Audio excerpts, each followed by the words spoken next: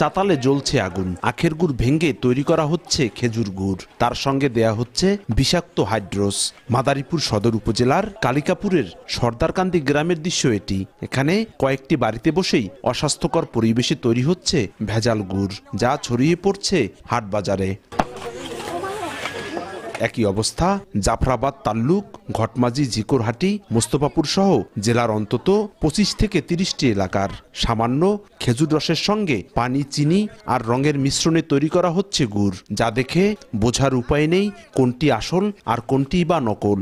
এসব গুড় কিনে প্রতিনিয়তই প্রতারিত হচ্ছেন ক্রেতারা। বিক্রেতারা বলছেন, খাঁটি গুড় তৈরি করা হলে ন্যায্য দাম পাওয়া যায় না, তাই বাজারে ছড়িয়ে পড়ছে ভেজাল গুড়। প্রত্যেকটাই কিছু চিনি কিছু রস মিক্স করে বানায়।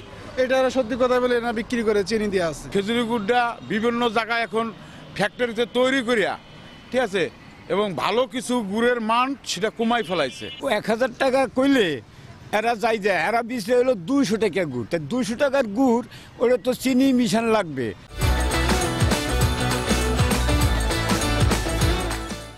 নর্মাল গুড় যেটা ওটা হলো তিনশো টাকা এককালের সর্বনিম্ন ওটা হলো চল্লিশ পার্সেন্ট ফোর্টি পার্সেন্ট চিনি।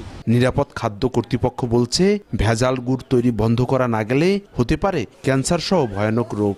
এই হাইড্রোজ এবং আহ, রং সেটা আমাদের স্বাস্থ্যগত ক্যান্সার কিডনি এই সমস্ত রোগের জন্য এই হাইড্রোজটা দায়ী। এমন পরিস্থিতিতে নিয়মিত অভিযান পরিচালনার কথা জানায় জাতীয় ভোক্তা অধিকার সংরক্ষণ অধিদপ্তর। কোথাও কোনো খেজুরের গাছ নেই রস নেই ওরা নকল ও ভেজাল গুড় তৈরি করছে।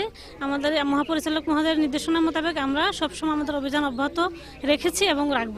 এক কেজি খাঁটি গুড়ের দাম ছয়শো থেকে আটশো টাকা কিন্তু এসব প্রতি কেজি ভেজাল গুড় বিক্রি হচ্ছে আড়াইশো থেকে সাড়ে তিনশো টাকায়। ইটভাটায় খেজুর গাছ ব্যবহার করায় কমেছে গাছের সংখ্যা। তাই দেখা দিয়েছে রসের সংকট। এই সুযোগকে কাজে লাগিয়ে এসব ভেজাল গুড় তৈরি করে ছড়িয়ে পড়ছে হাটবাজারে। স্বাস্থ্য ঝুঁকির আশঙ্কায় এসব ভেজাল গুড় তৈরি বন্ধের দাবি জানিয়েছেন ক্রেতারা। সঞ্জয় কর্মকার, অভিজিৎ, সময় সংবাদ, মাদারীপুর।